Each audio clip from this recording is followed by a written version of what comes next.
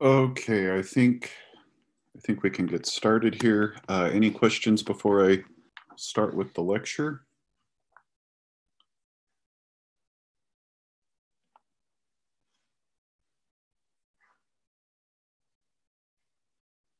Okay, so I will uh, try to pay attention and uh, notice if the chat uh, opens up or not. It uh,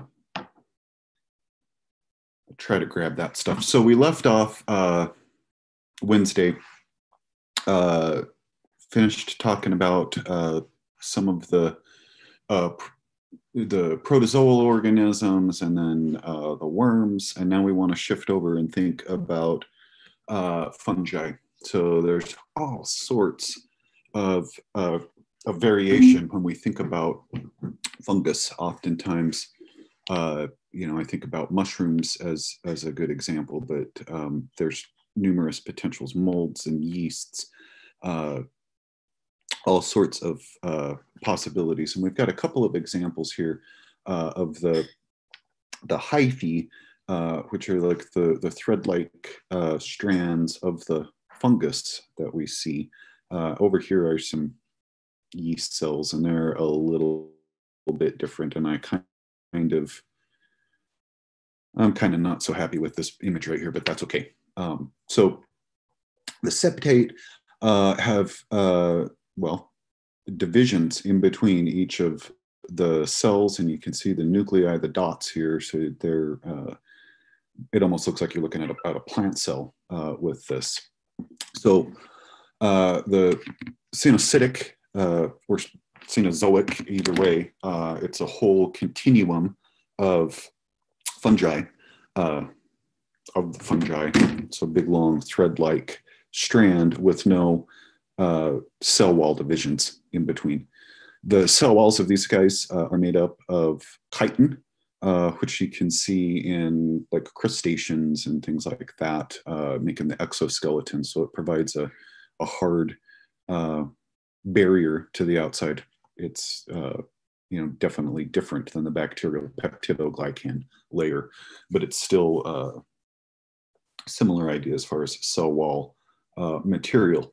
The yeast cells over here, typically oval shaped, uh, and really, you know, I said it kind of, kind of not so happy with this. Uh, this really looks more like hyphae, uh, and they do have some of them have the potential to produce pseudo hyphae, so not true thread-like strands, but it kind of appears that way. And this image almost looks kind of like the septate hyphae that we've got uh, initially.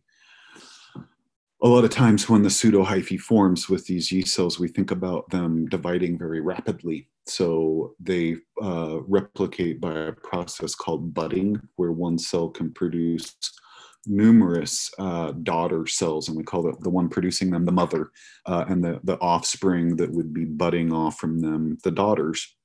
Uh, and there are potentials uh, where maybe you've got a, a, really good culture, you've got a lot of nutrients, or maybe we're thinking, you know, a type of yeast infection where they they've uh, really growing unchecked. Uh, they can repl- replicate very rapidly, and you can see uh, daughter cells uh, that are producing more daughter cells. So a mother cell with a daughter with a daughter on that, and so it looks like a big long uh, kind of hyphae, uh, the pseudo hyphae, but it's really not the same idea. They are uh, all separate, and they will ultimately have the potential to kind of exist as a separate cell. It's just they're not uh, fully separated from that mother cell uh, and again, growing rapidly like that, you can see almost chains of them linked together, uh, replicating very quickly. Uh, so it's it's not not exactly like that. One of them that we uh, want to start with, and uh, something that's really, uh, I think, pretty interesting, is a type of fungus called Histoplasma capsulatum. Uh, it's a type of fungus that we call a dimorphic fungus. And what we mean by that is it's got the potential, and typically with the dimorphic fungi, uh, it's temperature dependency that uh, stimulates the, the conversion in types of, of morphology or types of fungus, if you will. Uh, so histoplasma is an organism that uh, grows, uh, it's, it's out in the environment, it grows in soil. Uh, it's uh, especially more common in areas that are uh, rich with nitrogen, especially areas that have, as it says here, you know, bird or bat feces. Uh, it's you know a little more conducive to allow for the the fungus to to kind of thrive uh, in that type of a habitat.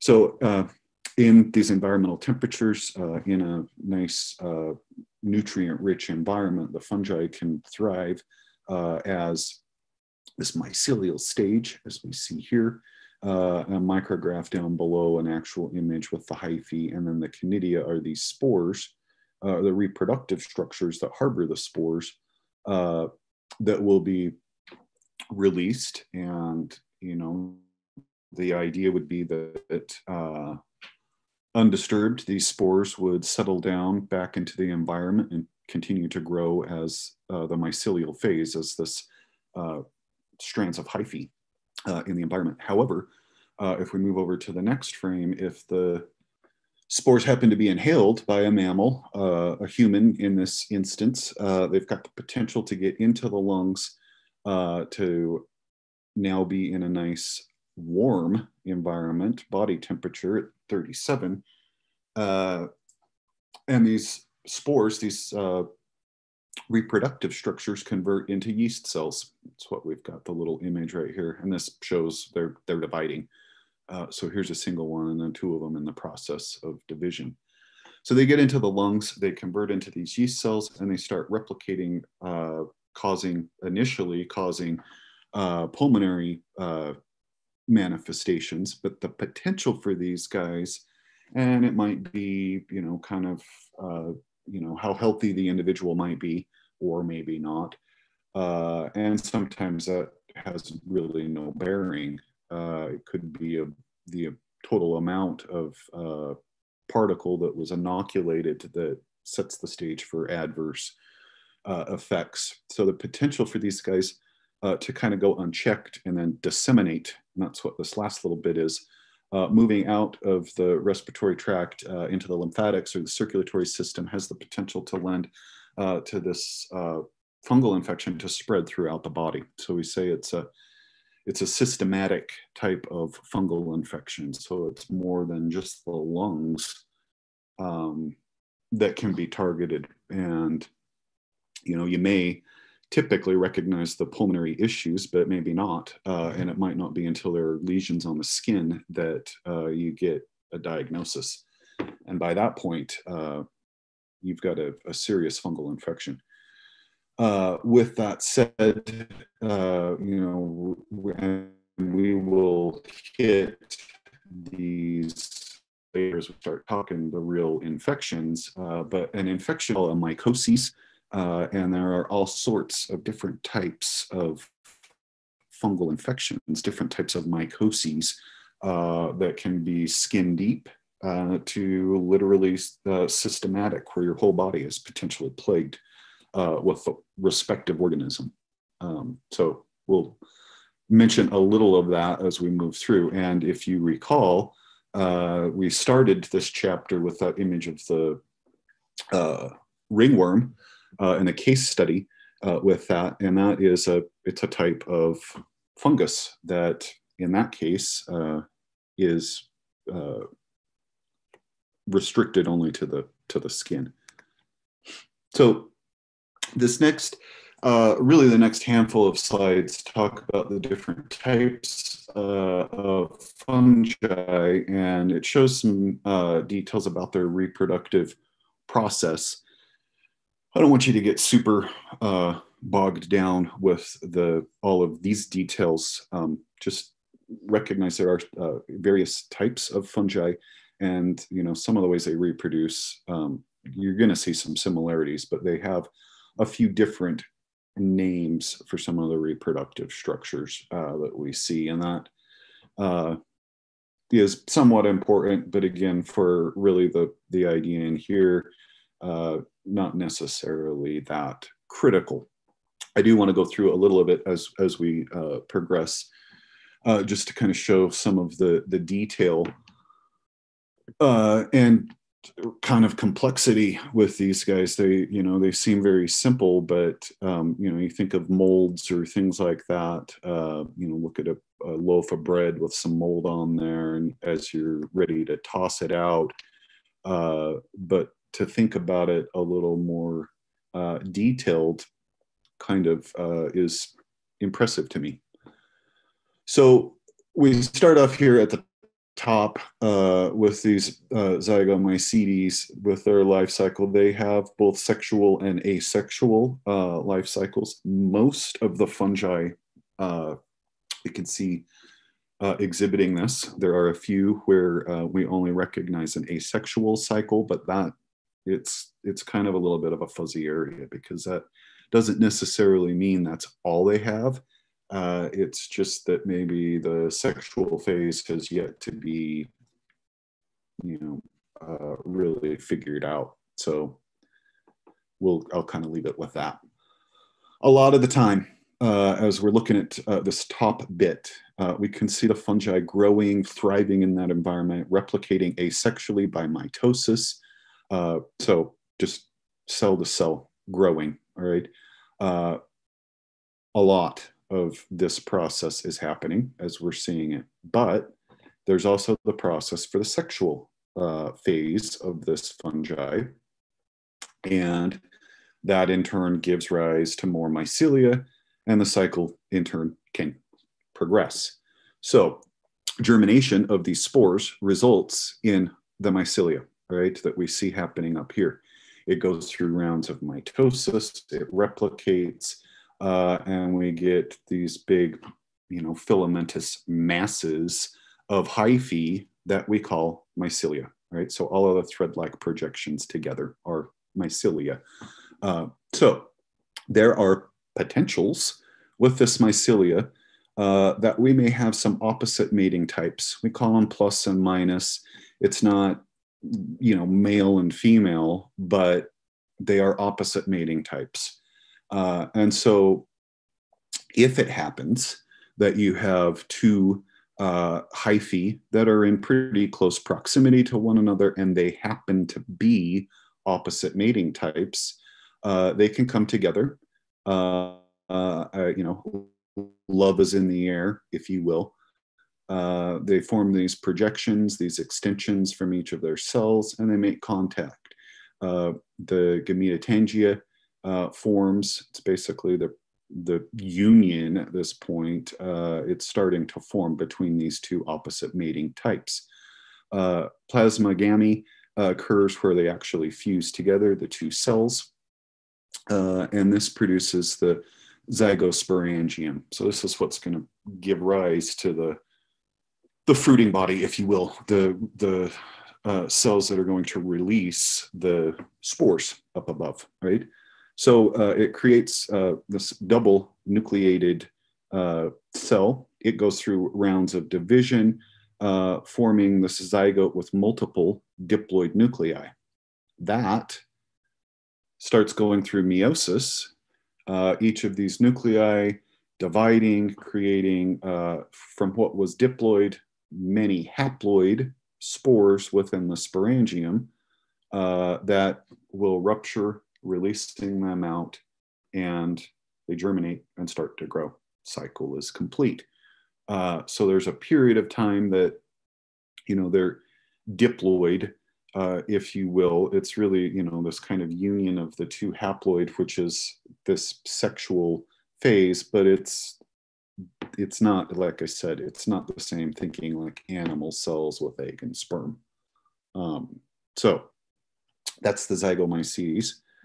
And here uh, is an image with some of the bread mold that we can see and the dark bits on here uh, as we blow that up are the reproductive structures, the sporangium uh, attached to the hyphae. And you can see the little thread-like projections. You definitely can see hyphae on here, the white fuzz, um, the threads. And all of it together, this big collection of hyphae, we would call mycelia or mycelium. Um, so many moldy bits on there would be mycelia, plural. Uh, so, and these, uh, you know, just handful of different things. So mucor is uh, mold that's found indoors. It could be something that's also a, a potential on uh, bread. Rhizopus is more, maybe more common on bread, uh, but both of which could maybe be on something like that. So uh, here's another one with uh, these guys with their ascus and ascospores. So the ascus harbors these spores. Um, this um, from a, uh, different type of fungi. Uh, we're not, I'm not gonna I'm not gonna make you spell that. Uh, it's all fine and good. So we'll leave it at that. Uh, this next image, this is aspergillus. This is one that it's you know mostly common in soils and plants. It is a, a potential pathogen uh, a toxic type of fungi. It's one that uh, you've probably heard of sick building syndrome. Uh, there are issues with that where it could be pollutants like formaldehydes or other things in there, but there's also issues where it's fungi that are in there, and the aspergillus is definitely a contributing factor to that. Uh, it can be seen sometimes in poorly ventilated bathrooms, uh, you know, that don't, uh, you know, they they don't dry out thoroughly that allows for uh, kind of toward the ceiling some of this uh, blackish looking uh, mold to grow. And a lot of the time it's aspergillus. So uh, if you have some of that, I recommend uh, you know wiping that down with some 10% uh, bleach solution. That'll get rid of that. maybe not for forever, but it'll knock it back for quite a while. and this last one, this is Candida, Candida albicans. These are yeast cells. so uh, can cause candidiasis, so vaginal uh, yeast infection or thrush. Uh, there are also potentials for uh, infections with this, and typically we think immunocompromised people. Uh, but there are potentials for it to go systemic and disseminate, and you can see multiple organ involvement. Uh, and in those circumstances, the prognosis is very poor. so these guys, here we can see just numerous yeast cells, oval little cells and the potential, you can see a few in here that look almost pseudo hyphae like as we've got them kind of connected together. Uh, here they're basically just growing out of, out of control. You've got lots of them all kind of piled up. Um, almost, you know, they're huge, but it almost is like looking at the staphylococci where they're all clustered together. Um, again, much, much larger. And you can see the nuclei, you can see details you would know uh, looking at a smear uh, that this individual had candidiasis and not, you know, uh, some bacterial vaginosis or something like that. Um, you could definitely differentiate that. Uh, every time I see this, it kind of, you know, I, I, feel like I'm looking at uh, peas in a pod as I see this um, bit right here. These ascospores uh, are all lined up in this ascus uh, and they are again the the spores that have been produced uh, through sexual uh, replication, and it's back to uh, these guys right here.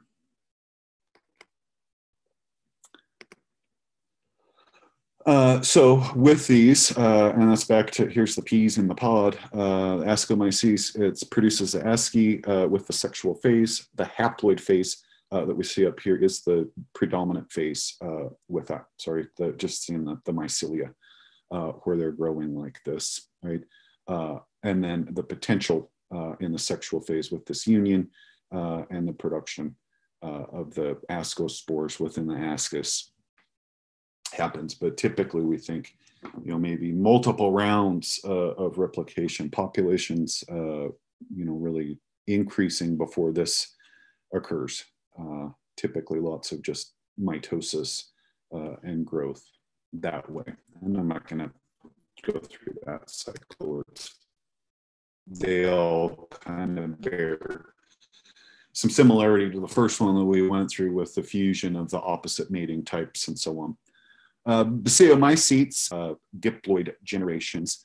Uh, so the haploid generations prolonged uh, with a dikaryon, so this fusion multinucleated cell, uh, and then the production of the fruiting body. Uh, the basidiocarp uh, with basidia in the gill filaments uh, of that mushroom. Uh, the basidiocarp is the, the mushroom. Uh, so these guys, uh, relatively common, uh, something you can you know find at the supermarket or as you know the spring starts to happen. I am looking out the window and seeing snow all over, but you can see them, you know, toadstools and things like that growing in your lawn as they emerge after typically after a good rain or something like that. Under uh, in the soil, uh, there's all sorts of mycelia, all sorts of uh, of hyphae uh, growing and absorbing nutrients, and then the fruiting bodies emerge, releasing spores uh, for more mycelia to continue to grow. So uh, it really kind of just depends. There's all sorts of variation uh, with the basidiomycetes. Um, but again, typically thinking uh, mushrooms, there is, uh, here's a table, uh, there is uh, one Cryptococcus neoformans that fits within the Basidiomycota that is something that is definitely pathogenic. Um, the others not, but there are some issues uh, with some of these guys uh, with toxins and things like that. So there are definitely some potential uh, that you know could cause problems, but the cryptococcus is one that's definitely a pathogen in and of itself. Uh, the ascomycota that we started with, uh, there's a handful of different potentials, um, and you can see there are uh, you know a few examples edible mushrooms here. I don't know if I think these guys really need to be down below. Uh, the Basidiomycota are the edible. I don't know. I don't. I don't want to say that, but I'm pretty sure the Ascomycota are not edible mushrooms. I think that's an issue uh, with the table. Doesn't matter.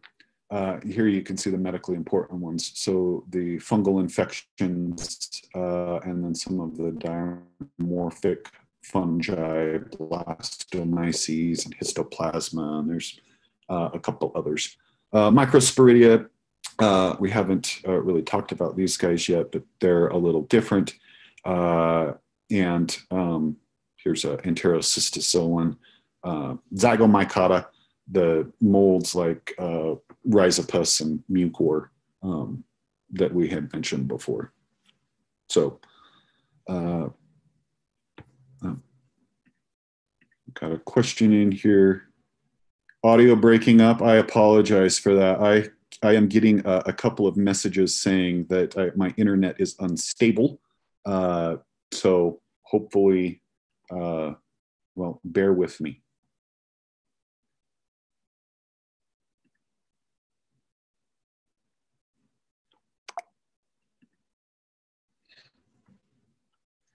Uh, if I completely stop, please uh, let me know. Um, hopefully, I don't freeze up or anything like that. Uh, this next one, uh, this shows the micro and macro conidium. Uh, this is with Trichophyton rubrum uh, dermatophyte. So the ringworm that we started with, this could be one of the potentials. There's a handful of culprits that can cause ringworm, uh, but maybe this guy. Um, all right, shifting uh, the dinoflagellates, uh, we're now starting to think about um, the, the algae. Uh, and I think this image is really pretty cool looking. Uh, there's all sorts of diversity in the shape uh, of these guys. Um, they're encased in cellulose armor, some flagella, uh, and yeah, these pretty interesting. Um, we think about other things as well uh, with that diatoms, uh, as we see here, as I see that dinoflagellate, it makes me think about some of these guys uh, with the you know really complex shape and uh, yeah, pretty uh, impressive. So initially, as we uh, look at this, it's all sorts of potentials when we think about the, the algae. There's multicellular and single cellular. there are, you know, the multicellular like the seaweeds and kelp uh, they look like plants. They uh, are not plants, but they definitely appear to have uh, some similarities for sure. Uh, so, um, the first one, uh, some algae. Um, the next, red algae that has does have the potential with some red tides to cause some issues. Another green algae, and it looks definitely kind of plant-like. There's some that have bioluminescence.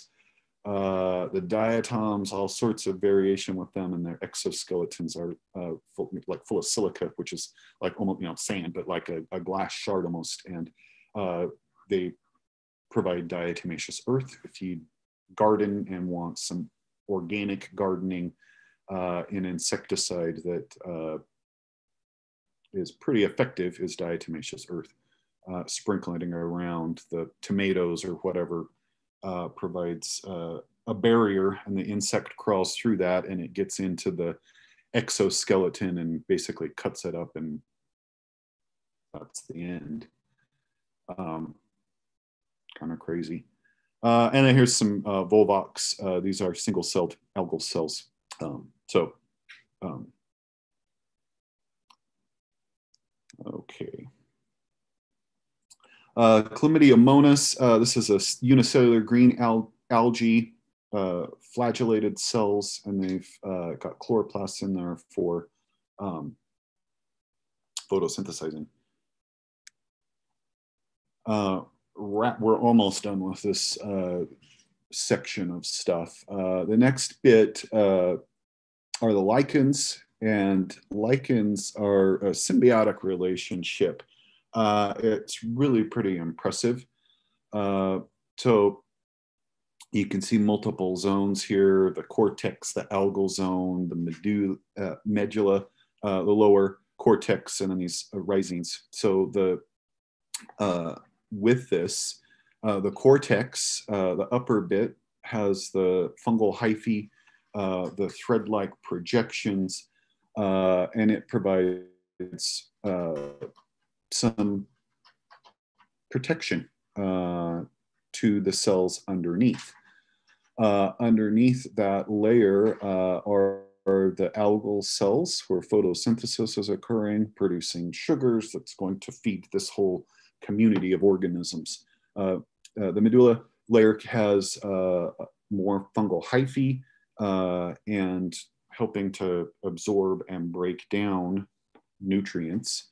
Uh, and then the rhizines anchor uh, the whole thing to a substrate. They're important uh, in providing, you know, or forming, reshaping environments with soil as they colonize. They help to collect uh, they break down substrate. You see them uh, kind of on uh, things that um, you know are really pretty impressive to see some of the, the variation uh, with them. And that's what we've got, handful of different uh, potentials with these lichens. There's also some uh, possibilities of cyanobacteria taking up uh, associations in this complex. Uh, it doesn't have to just be algal uh, cells within there. so kind of rust colored ones, this crustose lichen uh, here's one that's uh, foliaceous, uh, follows, I don't know how to say that, uh, leaf-like, uh, and then this wispy looking one right here, uh, uh, fruticose lichen, this uh, toxic maybe uh, a little bit. Uh, it says here wants to make poison arrowheads. I think that's kind of impressive. It looks uh, like stuff I've seen just hiking around. I've seen all of these things. I feel like, uh, and there's definitely some potentials with different kind of color variation within there. Again, dependent upon the type of symbiote uh, that might be within. Okay, I'm going to stop that. And let me see if I can. Oops.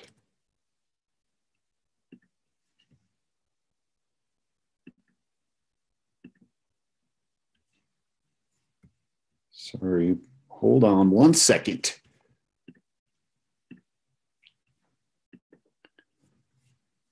Okay, hopefully, me, I've got, there's too many things on this screen to get it. All right.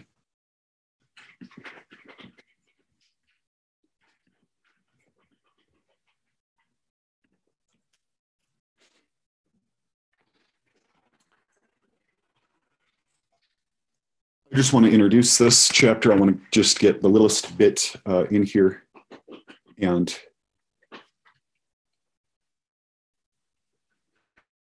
and then we'll stop with that for, for the weekend. So uh, on the test, are you wanting us to know the genus and species of all of the organisms we've talked about, or do you want us to know them more generally? And uh, at this point, it's going to be more generally. Uh, I, you know, I don't expect there were a number of different organisms that we've kind of talked about.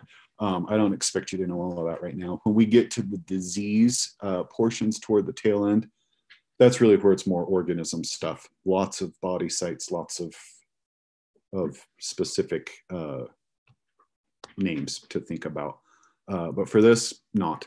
Uh, I do have a summary uh, that I have. Uh, I, I, forgot to post it yesterday. I'll get it posted onto Moodle and I will get a review together as well. Uh, I recognize Monday is a holiday. Um, that's true, right? I think that is true. Uh, so uh, I want to get a chunk of this lecture today so that um, we'll have a little more time uh, next week to have some review as well. Um, so I will also see if I can uh, get a, a, like an office hour or something set up uh, on Zoom where we can have like a little review time that's you know not uh, not at the same time, not during lecture time. Um, we'll see if if that's something that uh, people want. So, okay, this last uh, chapter for this unit of material uh, is relatively short. to The acellular pathogens, uh, the bulk of it we want to think about are virus, uh, but there are other uh, ideas with things like uh, prions, the proteinaceous particles that can cause, well, some serious issues. But again, the main focus really is is virus. And with that, um, there's you know a lot of detail uh, uh, that you know and names you don't need to really get bogged down with with that. So uh, initially we, we start off uh, thinking about uh, something that I really find quite terrifying. Uh, Ebola virus is something that uh, I think a lot of us know a little bit about, and maybe some of what we know about it is not really accurate. Uh, we've been kind of told things that are maybe a little embellished, uh, I would say, and some of that is, uh, you know, the work of things like the hot zone, uh, where we're told kind of a fantastical uh, example of how the disease rips through the body and you bleed out of every orifice. Um, that's not necessarily 100% accurate. Um, it is definitely something that's uh, very serious, highly contagious, um, but um, maybe not quite uh, as gruesome of uh, of a picture as maybe we may have in our minds. That's okay. I still don't want it. Uh, this is a uh, filovirus, a thread-like virus um, that we see here, and here is a was an outbreak in 2014. Uh, numerous cases in uh, Africa where uh, we can see these issues. And there's definitely questions as far as where uh, this has originated. There are some pretty fascinating books that kind of talk about this uh, and you know thoughts of epidemics. Uh, not that we're not in the midst of a issue right now uh, with a pandemic. Not thankfully not Ebola. Um, so initially, uh, we want to think a little bit about the first uh, recognition, to the first uh, real uh, understanding of these particles uh, that were causing issues, and they were so small that it couldn't be bacteria. Uh, what could it be? and tobacco mosaic virus was the first uh, that was really kind of studied and filtered uh, and uh, shown to cause this. These are uh, a handful of tobacco leaves that are uh, infected in various stages of infection um, with the virus. And here's an image uh, of some of the viral particles right here. So the I think we've, I think I've got an image here. I've got an image in a couple of slides down uh, that will talk a little bit about the filtration. And I, so I'm going to skip over that right now. Uh, this virus right here, this is, uh, I think, just fascinating. And I love seeing images of this.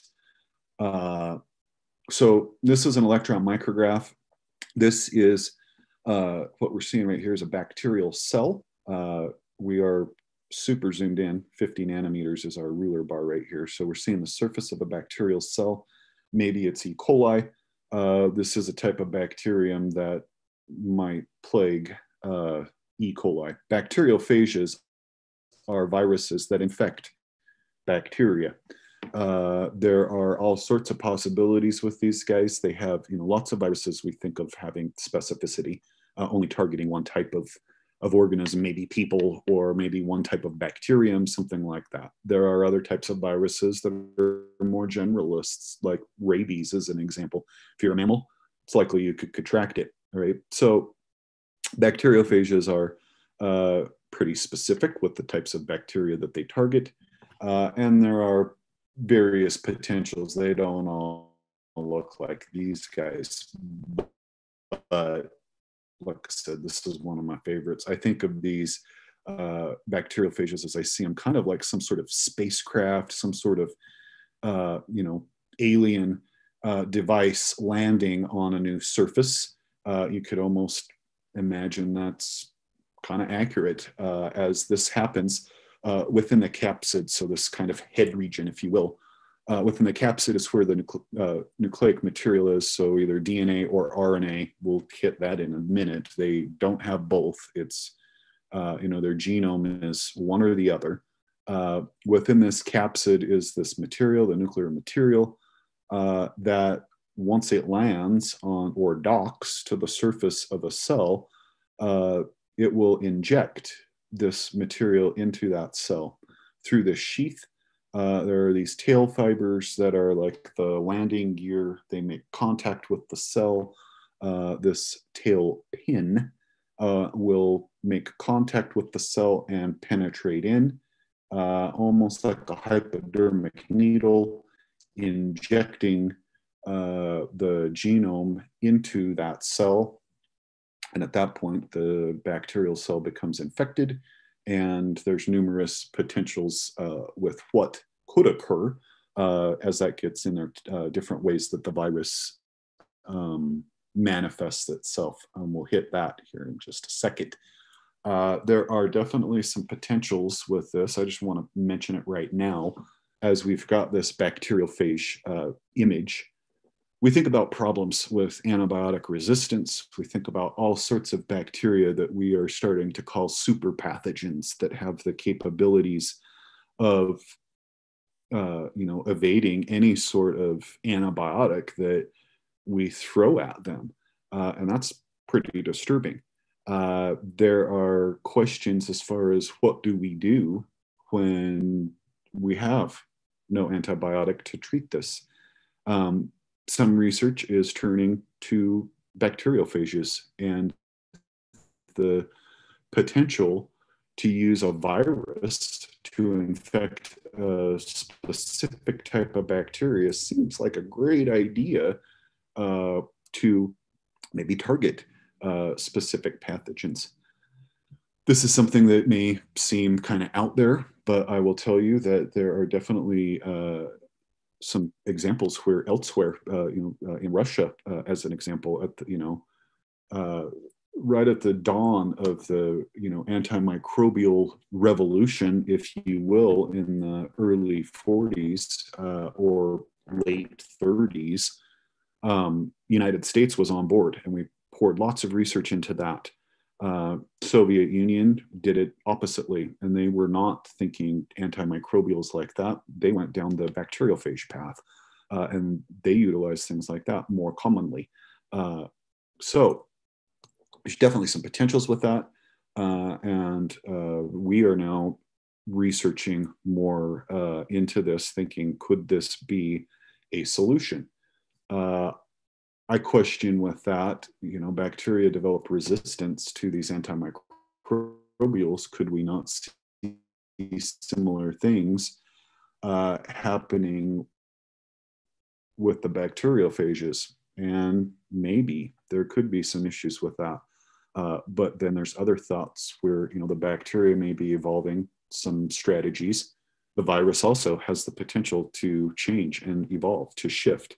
Uh, whereas an antimicrobial, we don't see that happening. So there are maybe some potentials for these being more effective. And I guess the, you know, the jury's still out on that. We will, we will see what happens. Um, but I do think it's uh, interesting. And as we see this right here, um, you could think of, you know, having some of these little viruses uh, circulating around, seeking out those specific pathogens, finding, targeting, uh, and eliminating, um, it seems like a pretty good strategy to me.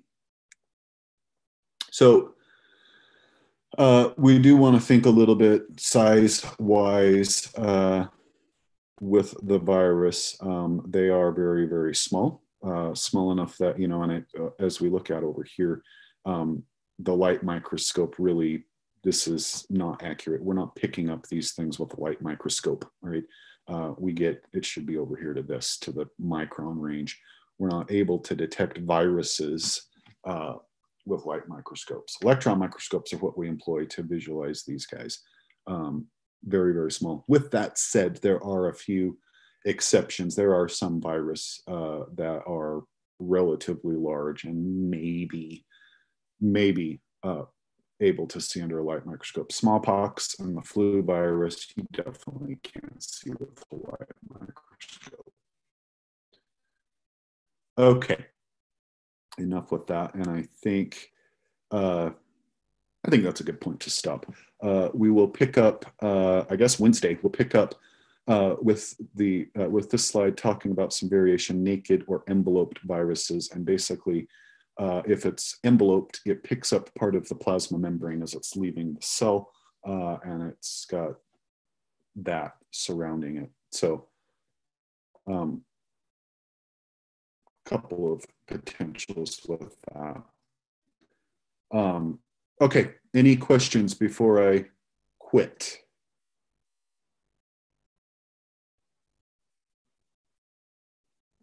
I'm seeing nothing on my chat. It sounds silent.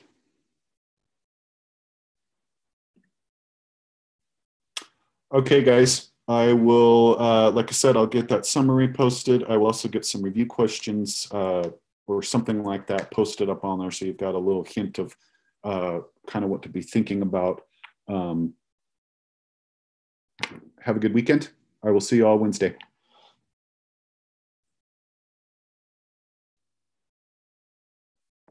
Thank you. Thank you.